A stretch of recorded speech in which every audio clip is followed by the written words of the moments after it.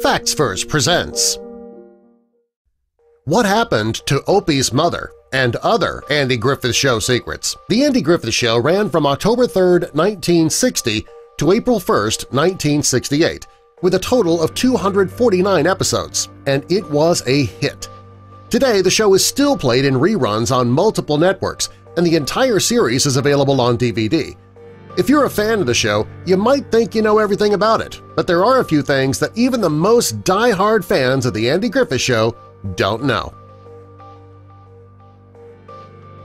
Real-life besties On the show, Andy and Barney Fife were best friends on the show. What many viewers didn't know was they played such great friends on the show because they were best friends in real life.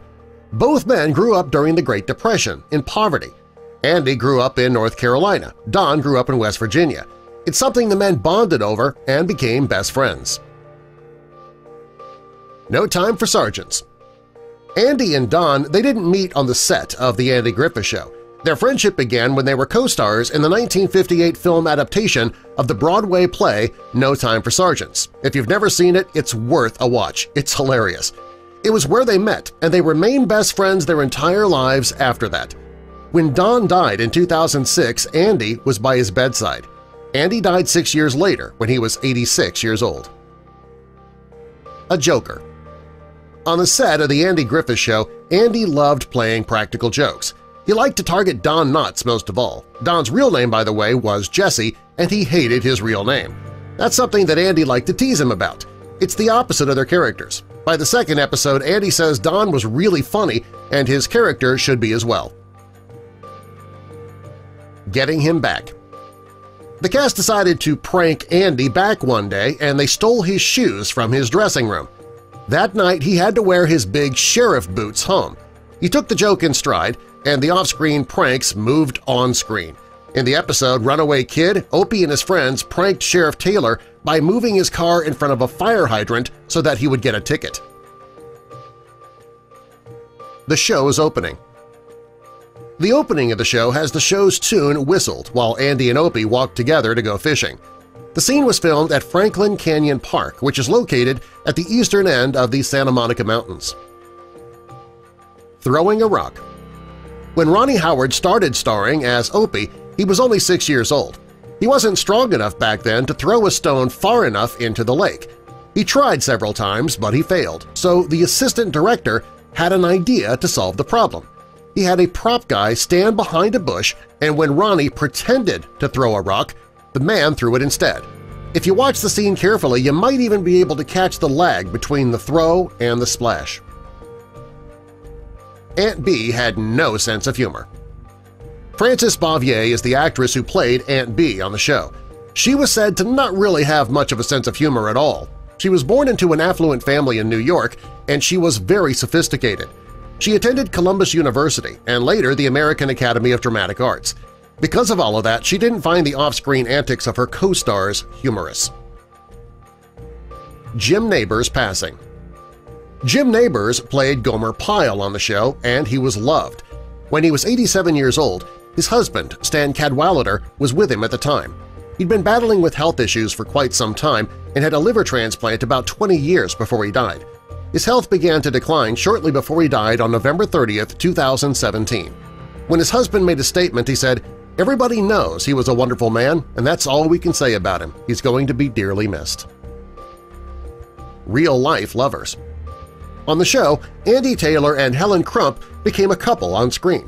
It's believed, though, that Andy and the actress who played Helen, Aneta Corsaut, were lovers in real life. Andy was married at the time, though, so they were trying to keep things quiet. The couple was outed during one of the cast's many practical jokes. As a prank, one of the crew members dressed up as a waiter and delivered dinner to Andy's room. The crew member was shocked when he caught Andy and Aneta in a uh, compromising position. This discovery was not supposed to be part of the prank. Andy and his wife later divorced. During his life, he was married three times. An apology As mentioned earlier, Andy and Frances had a tense relationship during the show because she didn't approve of their off-screen antics.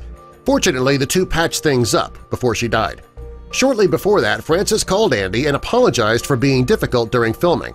It meant a lot to Andy to be able to clear things up and speak to her one more time. Andy's and Ronnie's favorite episodes. Every cast member has one episode that they considered their favorite. Andy's favorite episode was in Season 3, Barney's First Car. In the episode, Barney uses his life savings to buy an old car, but it ends up not working.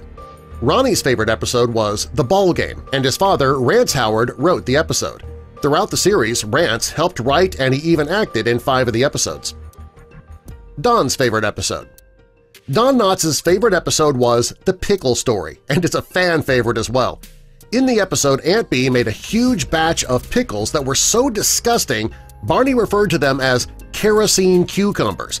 Due to a number of hilarious events, Andy and Barney had to consume eight quarts of the nasty pickles. The episode's pretty funny. It's obvious the men had a great time filming it, too. They quit while they were ahead. The Andy Griffith Show ended when it was at the top of the Nielsen ratings, there have only been three shows who have ever done that in TV history. I Love Lucy was the first to do it, and the last episode aired May 6, 1957. The Andy Griffith Show was second, which ended April 1, 1968, and then Seinfeld was the third, which ended May 14, 1998.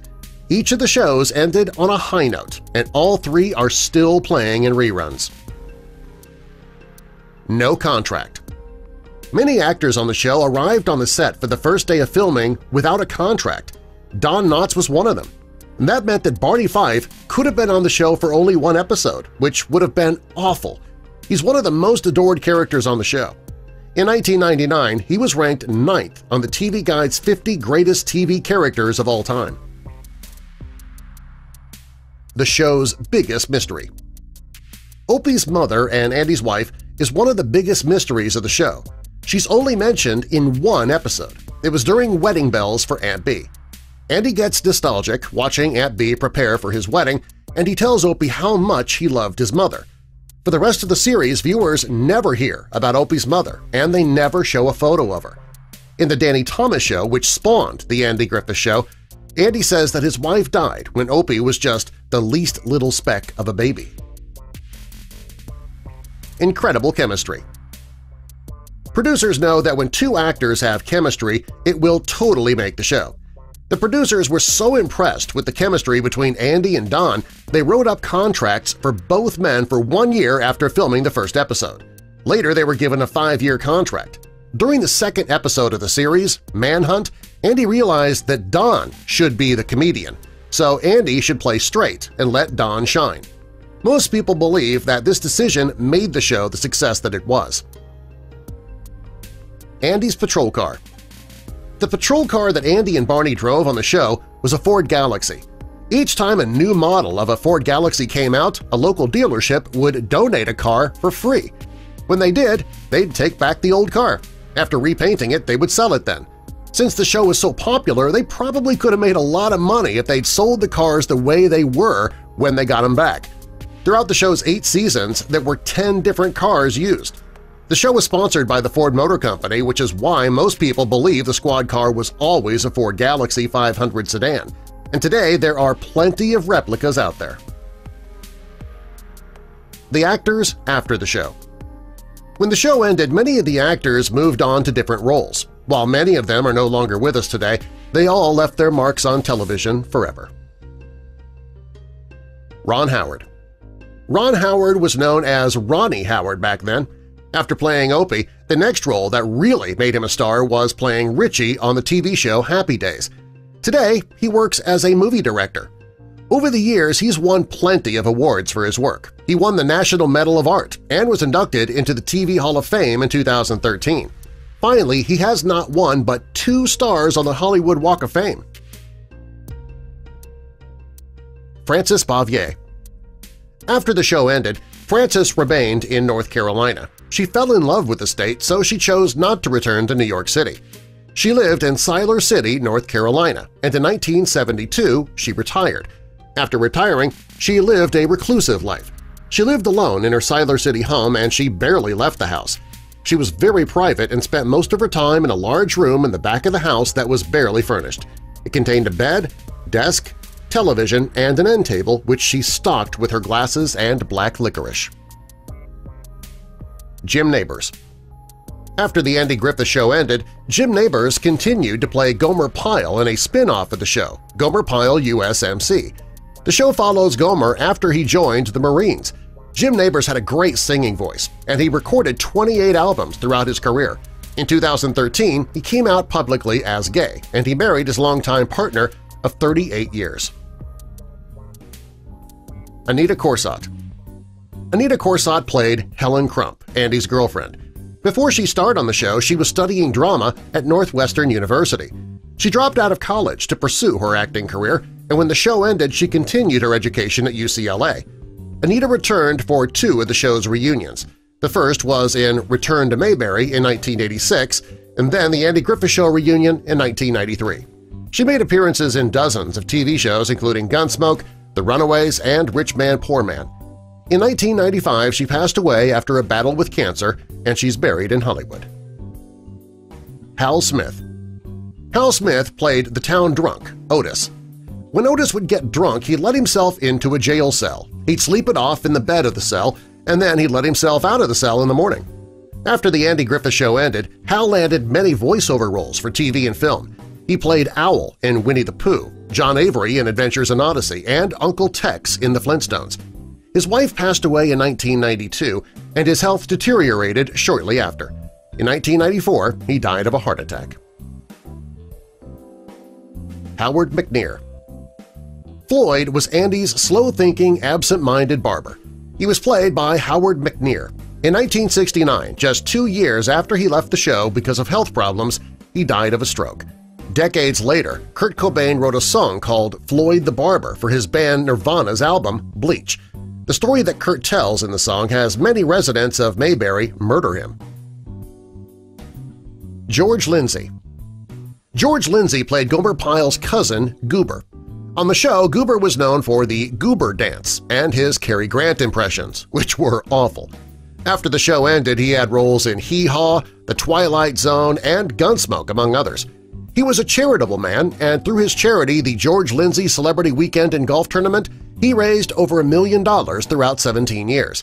The proceeds went to the Alabama Special Olympics. In 2012, he died at the age of 83. Don Knotts Don Knotts played Barney Fife, and after the show ended, he played Ralph Furley on Three's Company. He also starred in many other TV shows and movies. Right before Don passed away, Andy went to visit him in the hospital. He later recalled his final words to his dear friend, he said, I know that he could hear me, and we all believe that he could hear my voice. I told him that I love him, and I told him, I said, Jesse, breathe. You gotta make this, you gotta pull through, breathe. And you know, I saw his chest heave, and I said, That boy, keep breathing, just keep breathing. His shoulder moved, so I believe he heard my voice. Andy Griffith When the show ended, Andy starred in many TV shows, but none of them really took off. In 1986, he landed the role of lawyer Ben Matlock, and the show was titled Matlock. That show was a hit. His former co-star Aneta Corsaut appeared in seven episodes of the show. In 1983, he became ill with Guillain-Barré syndrome but recovered. He also went through a quadruple bypass in 2000. In 2012, he died of a heart attack. He's buried on Roanoke Island in North Carolina, which he loved to visit. Subscribe for more.